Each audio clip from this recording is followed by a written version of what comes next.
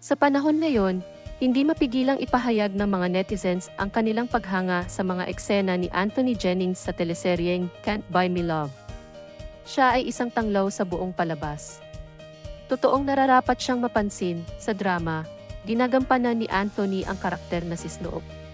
Siya ang pinakamatalik na kaibigan ng pangunahing tauhan, sa Bingo Andre, na ginaganap ni Donnie Pangilinan. Ang karakter ni Anthony sa Can't Buy Me Love ay isang natural na nakakatawa na laging may ginagawang kalokohan tuwing siya ay naharap sa isang krisis. Maliban sa pagiging nakakatawa, siya ay isang maalalahanin at suportadong kaibigan. Si Snoop ay pinareha sa karakter ni Maris Racal, si Irene. Una nilang nakilala ang isa't isa noong malapit nang mamatay si Irene kung saan sinagip siya ni Snoop.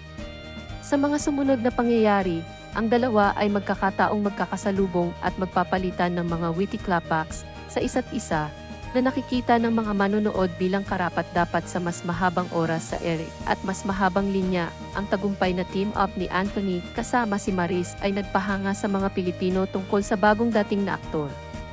Kami ay nagpunta sa pag-aaral ng mga katotohanan tungkol sa kanya at natuklasan ang ilang mga kwento tungkol sa kanyang buhay, karera, at tila pati na rin sa kanyang kaakit-akit na personalidad. Sino nga ba si Anthony Jennings? Narito ang labindalawa mga katotohanan tungkol sa kanya. Isa, siya ay kalahating Briton at kalahating Pilipino. Sa isang panayam, ibinunyag ni Anthony na ang kanyang ama ay Briton at ang kanyang ina ay Pilipina. Ang kanyang buong pangalan ay Anthony Michael Jennings. Karamihan sa kanyang pagkabata ay lumaki siya kasama ang kanyang mga lolo at lola sa Negros Occidental. Mayroon din siyang dalawang kapatid. Ano ang paborito niyang alaala noong kanyang kabataan? Ang paglalaro sa tabing dagat at pangingisda kasama ang kanyang lolo. Dalawa, dumaan siya sa maraming pagsubok sa kanyang buhay, nagsimula si Anthony sa hirap. Sa isang panayam kay Ogie Diaz, naalala niya ang kanilang paglipat-lipat mula sa isang bahay patungo sa isa pa ang pagtanaw sa kanyang mga magulang na magbayad ng maraming utang para sa kanilang pamilya. At ilang taon ang lumipas bago siya nakapasok sa Star Magic bilang isa sa kanilang mga talento. Wala naman akong sinisisi sa mga magulang ko. Alam ko ang lahat ng kanilang ginawa ay para sa amin. Dumating lang talaga sa amin ang malas. Minsan, kulang-kulang na ang aming pinagkakakitaan, kaya't kami ay lilipat na naman, malayang ibinahagi niya tatlo. Hindi niya natapos ang elementarya, ang lahat ng hindi magandang pangyayari sa kanyang buhay ay nagresulta sa pagkakawala niya ng pagkakataon na magtuon sa kanyang edukasyon. Ipinahayag niya na natapos lamang niya ang ikalawang baitang at hindi man lang natuto ng tamang pagbasa at pagsusulat, hanggang elementarya lang ang natapos ko, Siguro ang pinakamataas kong natapos ay ang grade 2. Yun na yung maximum ko. Pagkatapos, hindi na ako nag-aral. At muling naglipat-lipat kami ng bahay, kaya't hindi na namin itinuloy. Sa mga oras na iyon, kami ay umuwi sa probinsya, nangingisda ako, at may iba pa akong ginagawa. Kaya, komersyal, alaala niya, bagamat hindi naman ganap na kasalanan niya na hindi niya na ipagpatuloy ang kanyang pag-aaral hanggang ngayon, Inamin ni Anthony na isa ito sa kanyang mga pinakamalaking pagsisisi sa buhay. Isa ito sa mga pagsisisi ko. Bakit hindi ko ba ginawa yun noon? Ngunit ngayon, ang pagtatapos ng kanyang pag-aaral ay nasa tuktok ng kanyang prioridad. Apat, sumubok siya para sa isang papel sa ABC Bin kahit hindi niya alam kung paano magsulat, hindi ako marunong magsulat. Pumunta ako sa Rapis noon at hindi ako marunong magsulat, ibinunyag niya sa isang podcast. Dahil hindi niya naitapos ang elementarya, mahirap para kay Anthony ang magbasa at magsulat sa kanyang teenage years. Inamin niya, yung pagbabasa kasi natutunan ko na lang siya sa katagalan, kasama na rin ang pagsusulat. Parang kusang nangyari na lang, lima.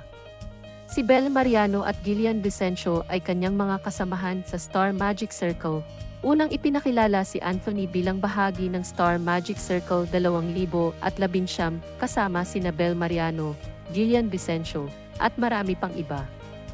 Anim, ginawa niya ang kanyang unang pagganap sa Hello, Love, Goodbye, noong 2019 nang si Anthony ay mag-debut sa kanyang unang proyektong pag-arte, at swerte pa nga, ito ay isang blockbuster hit.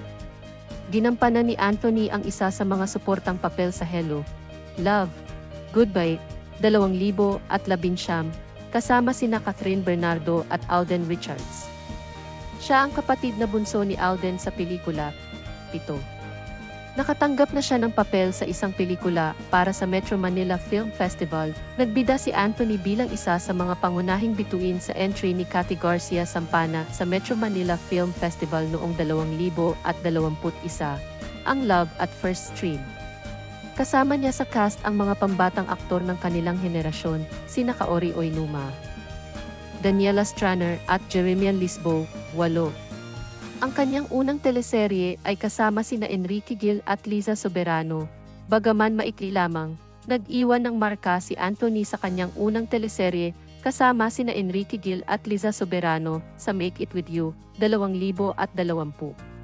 Ang palabas ay kanselado dahil sa mga patakaran ng COVID-negatibo labinsyam habang ginagawa ito. Siyam bida rin si Anthony sa House Arrest of Us ni Nakatniel. Kahit nakanselado ang kanyang unang teleserye dahil sa mga patakaran ng COVID-negatibo labinsyam, maswerte pa rin si Anthony na makakuha ng ibang papel sa isa pang serye. Kasama niya sina Catherine at Daniel Padilla sa House Arrest of Us, 2020 na una nang naging available sa Netflix, isa zero. Siya ay Scorpio, ang kaarawan ni Anthony ay sa ika-negatibo isa ng Nobyembre, 2000, kaya Scorpio siya. At sa kasalukuyan, 23 na siya, labing isa. May kakaibang palayaw siya, ibinahagi niya minsan na tinatawag siya ng kanyang pamilya na Ne, na pinaikli mula sa kanyang unang pangalan, Anthony, labindalawa. Mayroon siyang YouTube channel, kahit na hindi na aktibo ang kanyang channel ng mahigit isang taon ngayon. Karapat dapat pa rin banggitin na mayroon si Anthony na YouTube channel.